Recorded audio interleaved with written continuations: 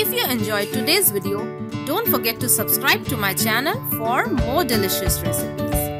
Also, click on the notification bell so that you get notified each time I upload a new recipe on the channel. Hello, Namaste.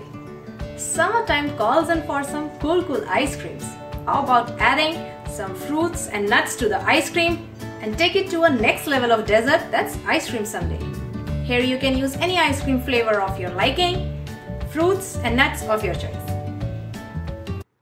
Also check some summertime recipes like shaved ice or barf ka gola, different types of lemonades easy to make at home, and yogurt based mango drink or mango lassi, digestive jaljeera with mint flavor, and special minty pineapple lassi. All links are given in description below. Now back to our recipe. Please check the ingredients for today's ice cream sundae. So here I have everything tutti frutti or mixed fruit that are candied. You can use of your choice. Then butterscotch pieces. You can always use chocolate chips if you like. Nuts or dry fruits of your choice. Fresh cut fruit. Today I am using mango. Some flavored syrup. And finally ice cream of choice.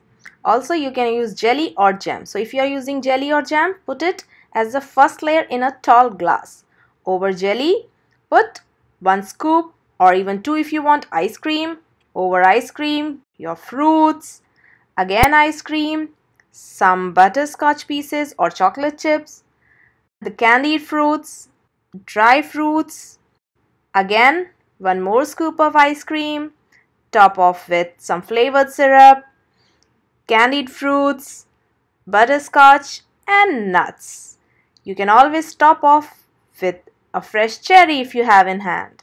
So this delicious, beautiful looking ice cream sundae, a nutritive, quick 2 minutes dessert is ready for you to enjoy during summers.